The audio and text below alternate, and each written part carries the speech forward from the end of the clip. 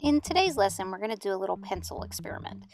Let's get out your conductivity tester from before and get a pencil. If you have one higher than 6B, that works best, but you can still try a 2B pencil. Then just take a piece of paper and draw a thick, dark sample that you're going to test.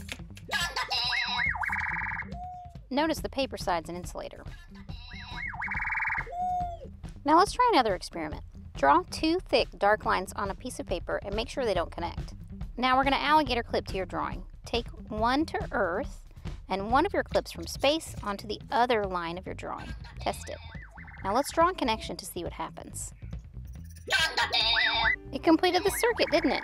It's kind of annoying. It might keep going off. Let's see if we can fix it.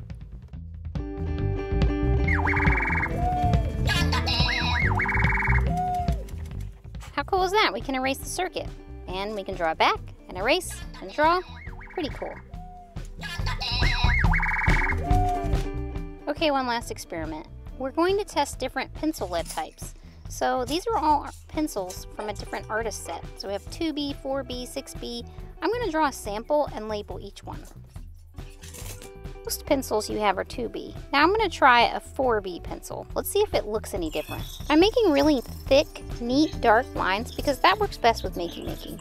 So as I draw each one, what do you notice about each drawing? Can you tell if the pencil lead is different? Is the graphite coming on any differently? Does 2B look different than 4B and 7B? What's happening here?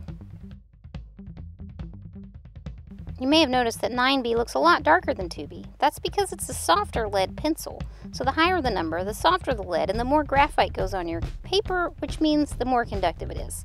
So let's plug them all up and see if it makes a difference, if Makey Makey can read all of them, or if it changes anything.